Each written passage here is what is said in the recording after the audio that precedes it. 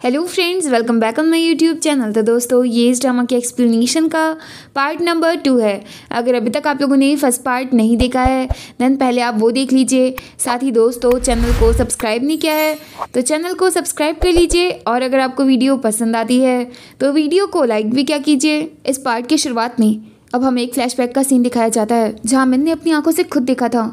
कि ओरिम उसे इस डॉक्टर ने ही ज़बरदस्ती धक्का दिया था, जबकि वो ऐसा कुछ भी करना नहीं चाह रही थी। इन शॉर्ट ये मर्डर था। तो वहीं प्रेजेंट में हमने देखा था कि शियोन को गुनवो का मैसेज आ जाता है, उस कल्प्रिट डॉक्टर के नाम का। और वो तो खुद उसके कैबिन में ही बैठी थी। ये डॉक्टर भी चालू था। इसे पता चल चुका था। इसीलिए ये भी गेट लॉक करता है। और शियोन से पूछती है कि तुम गेट लॉक क्यों कर रहे हो? तभी डॉक्टर कहता है, तुम्हें क्या लगता है? और उसके बाद शियोन की तरफ़ आगे बढ़ने लगता है। अब शियोन भी घबरा के चुपके से गुनवो को कॉल कर देती है। गुनवो फ़ोन उठा करके कहता है कि हाँ टीम लीडर, बोलिए क्या हुआ? लेकिन तब शियान डॉक्टर से बोलती है कि तुम क्यों कर रहे हो? डॉक्टर कहता है ऑफकोर्स तुम्हें इंटरेस्ट होगा कि वो लड़की मरी कैसे, क्योंकि तुम एक काबिल डिटेक्टिव जो हो। लेकिन गलती से तुमने अपराधी को ही सारा सच बता दिया है। शियान कहती है, क्या कह रहे हो? तब ये डॉक्टर कहता है तुम्हें सारा सच पता चल गया है ना? तो वहीं गुनवो ने ये सारी कन्वर्सेशन सुन ली थी। शियान डॉक्टर को काफ़ी तेज से मारती है। तो गुनवो पूछ रहा था मन से कि जल्दी बोलो, उस डॉक्टर का ऑफ़िस कहाँ पे है? तो वहीं दूसरी तरफ़ उस डॉक्टर ने शियान को इंजेक्शन लगा के ऑलमोस्ट बेहोश कर दिया था। फिर गुनवो, वो उस डॉक्टर के ऑफ़िस की तरफ़ भाग रहा था और उसने कॉल करके पुलिस क्वार्टर्स से बैकअप भी बुला लिया था। खैर, ये डॉक्टर शियान को उसके बराबर से लेके ही गुजरता है, लेकिन वो उस समय पहचान नहीं पाता। और जब वो डॉक्टर के कैबिन में पहुँचता है तो उसे शियान का टूटा हुआ फ़ोन वहाँ पे मिलता है। और तब उसे रियलाइज़ होता है कि शायद वो बराबर से शियोन ही गई थी। वो तुरंत वहाँ से भागता है, शियोन को रोकने के लिए। उसने देख लिया था कि डॉक्टर लिफ्ट से शियोन को लेकर के जा रहा है और वो सीढ़ियों से उनका पीछा करता है। उसे वो व्हीलचेयर पार्किंग में ही पड़ी हुई मिलती है। उसे लगता है कि ये डॉक्टर श्योन को कार से लेकर के जा रहा है।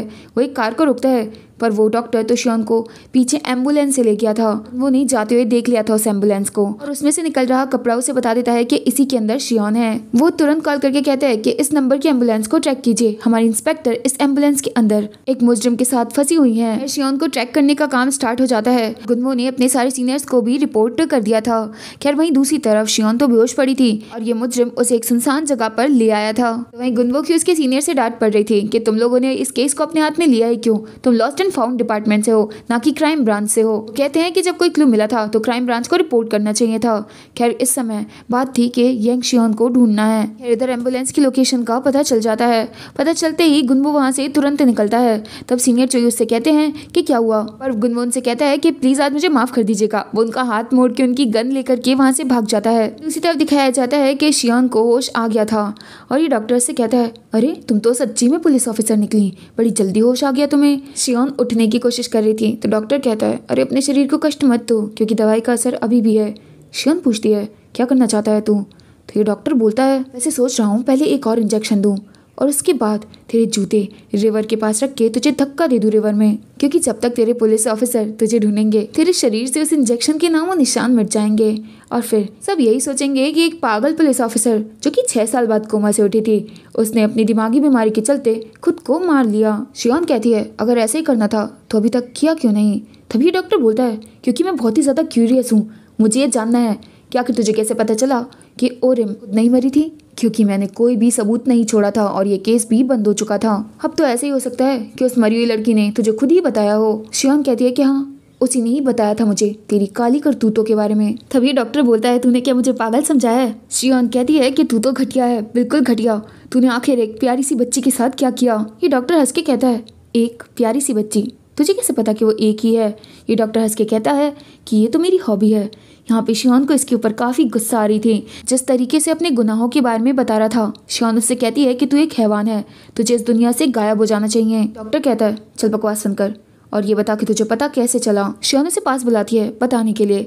और फिर उसकी आँखों में धूल डाल करके वो वहाँ से भागने लगती है। डॉक्टर मुस्कुरा रहा था क्योंकि उसने गेट पे ताला लगाया था। पर श्योन, वो तो दो तीन लातों में गेट तोड़ करके वहाँ से भाग जाती है। श्योन जैसे तैसे छुपती है इस डॉक्टर से। इस डॉक्टर ने बड़ा वाला गेट भी लॉक कर दिया था। वो श्योन को पकड़ लेता है, लेकिन श्योन फिर से भाग जाती है। पर इस बार उसने शियान को घेर लिया था और डंडा भी उसके हाथ में था। वो बस शियान को मारने ही वाला था कि तभी फायर होता है। वो वहाँ पे पहुँच गया था। वो बोलता है कि अपने हथियार नीचे कर, क्योंकि तुझे अरेस्ट किया जाता है एक लड़की के मर्डर के केस में। वो शियान से कहता है कि टीम लीडर उठिए, और इसे कहता है, सुनाई नहीं देता तुझे, अपने हथियार नीचे छोड़, मैं तुझे अभी यहीं मार दूँगा। तभी हंस के कहता है कि तुम लोग मेरा कुछ भी नहीं कर पाओगे, क्योंकि कोई सबूत ही नहीं है ये प्रूफ करने के लिए। डैन और रिम को मैंने मारा था। शियान कहती है कि मिन देगा गवाही तुम्हारे खिलाफ। तभी ये बोलता है, मिन के अपने अंकल के खिलाफ गवाही देखा? चलो वो बच्चा गवाही दे भी दे तो कौन मानेगा उसकी गवाही? लोगों को बता रहा था कि एविडेंस की कमी की वजह से। देख लेना। मैं ज़रूर छूट जाऊँगा। दोनों को ही काफ़ी गुस्सा आ रही थी। मन कर रहा था कि बस इसे यही मार दें। कानून ने उनके हाथ पे हथकड़ी लगाई हुई थी। वो ऐसा नहीं कर सकते थे और इसी चीज़ का डॉक्टर ये फ़ायदा उठा के इनका मज़ाक बना रहा था। लेकिन श्योन अपना गुस्सा कंट्रोल नहीं कर पाती। इसे वो गन छीन लेती है। और उनको कहते हैं कि, टीम लीडर ये आप क्या कर रही हैं? श्योन कहती है कि अगर लॉ तुझे सज़ा नहीं देगा तो मैं दूँगी तुझे सज़ा। वो उसका भेजा उड़ाने ही वाली थी कि सही टाइम पे गुन वो गन नीचे कर देता है। लेकिन गोली तो सीने में इस डॉक्टर के लगी गई थी। खैर, अब इन दोनों को इनके सीनियर से डांट पड़ रही थी कि आखिर तुम लोग क्या करने की कोशिश कर रहे थे। वो सस्पेक्ट मरते मरते बचा है। सियोन कहती है की मैं अकेले सारे इंसिडेंट की रिस्पॉन्सिबिलिटी लूँगी। मैं पनिशमेंट के लिए तैयार हूँ। तो उसके सीनियर कहते हैं कि पनिशमेंट के लिए तो तुम दोनों तैयार रहो और अपनी यूनिफॉर्म उतारने के लिए भी। डिसिप्लिनरी कमेटी इसके ऊपर डिसीज़न जल्द सुनाएगी। चारा गुन वो तो पागल ही हो जाता है। वो शिवन से कहता है कि आपको पता है कि मैंने कितनी मेहनत की थी सीरियस क्राइम डिपार्टमेंट में वापस लौटने के लिए, लेकिन अब तो लगता है कि पूरा करियर ही खत्म होने जा रहा है। शिवन कहती है, चिंता मत करो, मैं अकेले ही सारी रिस्पॉन्सिबिलिटी लूँगी। तो ये पूछता है, कैसे कैसे? आखिर कैसे करेंगे आप ये सब कुछ? वो उससे बोलता है कि, आखिर आपके दिमाग में चल क्या रहा था? जब आपने उसे शूट किया तो अगर आप उस समय थोड़ा सा कंट्रोल कर लेती तो सिचुएशन इतनी बिगड़ती नहीं। तभी शियान उससे कहती है कि तुम भी अच्छे से जानते हो कि उस समय मेरे दिमाग में क्या चल रहा था, क्योंकि वो ही तुम्हारे दिमाग में भी चल रहा था। वो वहाँ से जाने लगती है, तब गुनवो कहता है कि अगर दोबारा से वो सिचुएशन आई तो क्या आप ऐसे ही करेंगे? शियान कहती है कि अगर दोबारा से मुझे वहीं खड़ा किया जाए तो मैं वही करूँगी जो मैंने किया था। गुनवो कहते हैं, आपको क्या लगता है? मुझे गन चलानी नहीं आती है। खैर तभी मिस्टर चोई वहाँ पे आ गए थे और शिवान से पूछ रहे थे, क्या तुम ठीक हो? और जैसे ही वो गुनवो को देखते हैं गुनवो उनसे आकर के माफ़ी मांगने लगता है, लेकिन वो उसे पकड़ के पीटने लगते हैं। बेचारा गुनवो बड़ा परेशान था, क्योंकि उसे पक्का यकीन हो गया था कि वो तो निकाला ही जाने वाला है। पर तब मिस्टर चोई दोनों को साथ में खाने के लिए ले जाते हैं और इन्हें बताते हैं कि, मैंने भी एक ऐसी गलती की थी। ऑलमोस्ट मेरी यूनिफॉर्म भी उतरने ही वाली थी। और उस मूवमेंट पे मुझे रियलाइज़ हुआ कि ज़िंदगी में सबसे ज़्यादा इंपॉर्टेंट हमारी और हमारे परिवार की खुशी है। खैर, तभी उन्हें फ़ोन आता है कि इन दोनों को निकाला नहीं जा रहा है, बल्कि छः महीने की पेमेंट डिडक्शन होगी। अब ये पता चलते ही दोनों को तो विश्वास ही नहीं हो रहा था। और गुनवो वो तो कुछ ज़्यादा ही खुश हो जाता है। खुशी से नाच नहीं लगता है। शियोन तो उसे हैरानी से ही देख रही थी। अब उसे भी तो शियोन से माफ़ी मांगनी थी। तो वो शियोन से टॉस करता है कि, सीनियर, आप ठीक तो है ना? या शियोन भी इसके साथ टॉस करती है। अब जब ये यहाँ से वापस जा रहे थे, अब गुन, वो पूछता है, वैसे सीनियर, मैं क्यूरियस हूँ ये जानने के लिए कि आपको कैसे पता चला? कि ओरियम खुद नहीं मरी थी, क्योंकि ना कोई सबूत थे, ना कोई गवाह था, और ये केस भी काफ़ी टाइम पहले बंद हो चुका था। वेस्टर्न फॉर्म डिपार्टमेंट में उसके सिर्फ़ जिम के कपड़े पड़े हुए देख करके आपने ये केस डिसाइड किया। तब वो बोलती है, ऐसे समझ लो कि मैं लकी हूँ, बोलता है सीनियर, ये लक कहाँ से आता है?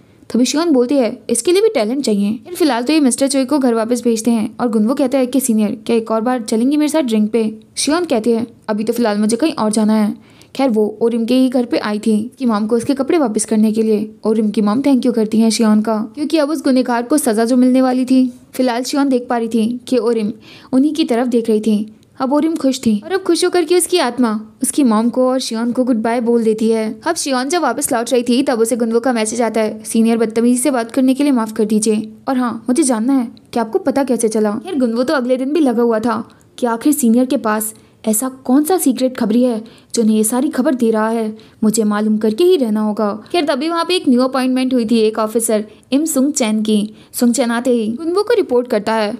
और गुनबो उसके बाल में लगा जेल और हाथों में लगी नील पेंट देख करके कहता है कि क्या तुम वाकई पुलिस ऑफिसर हो? ये सब कुछ क्या हाल बना के रखा है? तभी सुंगचन कहता है, वो इससे पहले मैं आइडल ट्रेनी था। गुनवो कहता है अच्छा बेटा, अब यहाँ पे आ गए हो तो काम तो करना ही पड़ेगा। जाओ, वहाँ जाकर के बैठ जाओ खिड़की के पास। तब सुंगचन कहता है, वहाँ बैठा तो मेरी स्किन काली हो जाएगी। कहते अच्छा तेरी स्किन काली हो जाएगी, लेकिन बैठना तो तुझे वहीं पड़ेगा। लेकिन तभी वहाँ पे शियान आ जाती है। सुंगचैन उसे बड़ी रिस्पेक्ट से ग्रीट करता है। गुनबो तो सुंगचैन की कंप्लेन करने वाला था, लेकिन उससे पहले ही शियान उसे दूसरी सीट दे देती है बैठने के लिए। और गुनबो से कहती है कि अगर इसे एडजस्ट करने में प्रॉब्लम हुई, इसकी रिस्पॉन्सिबिलिटी तुम्हें लेनी पड़ेगी तो इसका अच्छे से ध्यान रखना। से तो उल्टा गुनबो की सिट्टी विट्टी गुल हो गई थी। और अभी सुंगचैन उसका मज़ाक बना रहा था। खैर, आगे, जब ये सुंगचैन को स्टोरेज रूम में काम के लिए लेके जाता है तो उससे कहता है, देख भाई, सुन, वो टीम लीडर तो सिर्फ़ नाम की टीम लीडर है। यहाँ का असली बॉस तो मैं ही हूँ, इसलिए मेरी बात मान, उसी में ही तेरी भलाई है। चल, अब चल के काम करते हैं। तभी हम लोग को एक व्हाइट सूटकेस दिखाया जाता है। सुंगचन कहता है कि इसका लॉक नहीं खुल रहा तो क्या इसे तोड़ दें? तब गुनवो कहता है कि क्या पढ़ के आया है? उसके कान मरोड़ मरोड़ के उसे सारे लॉ समझाने लगता है। वैसे ऐसे ही नहीं खोल सकते हैं। अब ये तेरी गलती है कि सारा काम तो अकेले करेगा, क्योंकि मैं जा रहा हूँ। सुमचैन उसे फंसा करके निकल जाता है ये। तो वहीं दूसरी तरफ़, शियोन मीटिंग में जाने के लिए रेडी हो रही थी। लेकिन तभी अचानक से लाइटें जलबुझ होने लगती हैं। गेट खुलने लगता है। उसे घबराहट हो रही थी तो वो फटाफट से अपनी एंग्जाइटी पिल्स डाल लेती है और फिर रूम से बाहर निकलती है। तभी वहाँ पे गुनवो आ जाता है। शियोन कहती है कि चलो मीटिंग में जाना नहीं है, क्या रेडी होकर क्या हो? वो कहता है टीम लीडर पर रिपोर्ट का क्या हुआ? शियोन कहती है, वो मेरे पास है। ये कहता है वाओ ऐसी टीम लीडर तो सबको मिले इसके बाद ये लोग अपनी यूनिफॉर्म में पहुँच जाते हैं उस मीटिंग में। मीटिंग के अंदर शियोन ही एक लौती लड़की टीम लीडर थी। बाकी सारे के सारे लोग उससे जेलस हो रहे थे। खैर, आगे जब ये लोग टीम डिनर पे जाते हैं तो वहाँ पे दूसरे ऑफिसर जो कि शियोन से जेलस थे, उसकी काबिलियत से जेलस थे। उसके छह साल पहले हुए एक्सीडेंट और उसके मेमोरी लॉस का मज़ाक बनाने लगते हैं। वैसे ही तुम्हें कुछ याद नहीं है? ऊपर से कहीं किसी को मार वार ना दो। खैर, ये चीज़ें शियोन सुन करके शांत थी, वो कोई जवाब नहीं दे रही थी। लेकिन गुनबो को ये पसंद नहीं आ रहा था ये लोग शियोन की बेजती कर रहे हैं। इसीलिए इन्हें सबक सिखाने के लिए अपने बॉस से कहता है कि बॉस आज का डिनर हमारी ये दोनों काबिल टीम लीडर स्पॉन्सर कर रहे हैं। ये बॉस तो बड़े खुश के उनका खर्चा बचा, लेकिन इन लोगों की तो हवा टाइट हो जाती है। ऊपर से गुनवो वो भर भर के खाना मंगाया जा रहा था, ज़बरदस्ती खा रहा था इन लोगों को सबक सिखाने के लिए। कौन भी समझ गई थी, ये सब कुछ वो उसी के लिए कर रहा है। खैर, इतना सारा खा तो लिया था, अब बेचारे के पेट में दर्द हो रहा था। तो श्योन भी अपने सुइयों का डिब्बा निकाल लेती है, उसका इनडाइजेशन ठीक करने के लिए। गुनवो कहता है, ये क्या है? इसे दूर रखिए, मुझे इन सुइयों से डर लगता है। शियान कहती है तो क्या पूरे दिन ये पेट में दर्द लेकर के घूमोगे मेरे साथ? चुपचाप लगवा लो। गुनवो कहते हैं मैंने तो कर रहा हूँ। और वो ज़बरदस्ती करने लगती है और इसी बीच में दोनों कुछ ज़्यादा ही नज़दीक आ जाते हैं। गुनवो तो हैरान ही रह गया था उसे इतना क्लोज देख करके। और शियोन फ़ायदा उठा करके उसके हाथ में सुई लगा देती है और कहते हैं कि ये क्या किया? खैर अब ट्रीटमेंट हो ही गया था। तब गुनवो पूछता है कि क्या वाकई आपको कुछ भी याद नहीं है उस एक्सीडेंट वाले दिन का? कहती है कि नहीं याद है। वो बोलती है कि मुझे होश में आए हुए सौ दिन से ऊपर हो गए हैं। मैंने हर मुमकिन कोशिश की है, हर जगह जाने की कि मुझे कुछ याद आ जाए, पर मुझे कुछ भी याद नहीं आ रहा है। तब मैंने होप भी छोड़ दी है कि मुझे कुछ याद आएगा तब गुनवो बोलता है तो क्या इसी वजह से आपको डिमोशन दे करके लॉस्ट एंड फाउंड डिपार्टमेंट में डाल दिया है? शियान कहती है कि मुझे डिमोशन नहीं मिला, बल्कि मैं तो खुद जान मुझ के यहाँ पे आई हूँ। तभी गुनगु बोलता है, वाओ, यहाँ कचरे में कौन आता है अपने आप? शियान कहती है कि मुझे नहीं पता, मुझे ऐसा लगा कि कोई चीज़ यहाँ पे मेरा इंतज़ार कर रही है। गुनवो कहते हैं कि, वाओ, टीम लीडर, आपने प्रूफ कर दिया कि आप सच में वियर्ड हैं। ऐसी मेंटल वाली हरकतें करके कौन आता है इस कचरे वाली जगह पे? गुनवो कहता है, पर कुछ भी हो, मैं तो बहुत जल्द सीरियस क्राइम डिपार्टमेंट में लौटने वाला हूँ। तो मुबारक हो, आप यहाँ पे रह करके इंतज़ार कीजिए कि आप किसको ढूंढ रही हैं। ये सुइयाँ भी अब मुझसे दूर ही रखिएगा। तभी वो उसे दवाई दे करके जाने लगती है और गुनवो कहता है, ये तो स्ट्रेंज है, इन सुइयों ने काम कर दिया। वो भी उसके पीछे पीछे जाने लगता है। तो वहीं दूसरी तरफ़ सुमचंद अकेले ही काम किए जा रहा था और कह रहा था कि अभी जा करके मैं इंस्पेक्टर चा की रिपोर्ट करूँगा टीम लीडर से। सारा काम मेरे ऊपर डाल करके वो कैसे जा सकते हैं? अब इसके बाद वो शिवन के पास जाता है और कहता है, टीम लीडर, मैंने सारा काम अच्छे से कर दिया। वो को देख कर करके इसकी हवा टाइट हो गई थी और कुछ बोल ही नहीं पाता। खैर, अब शियोन को एक कॉल आता है। एक पर्सन की सिल्वर कलर की अटैचिक हो गई है। वो उसे लेने के लिए आ रहा है। शिवान कहती है कि पर छह बजे पुलिस स्टेशन बंद हो जाता है।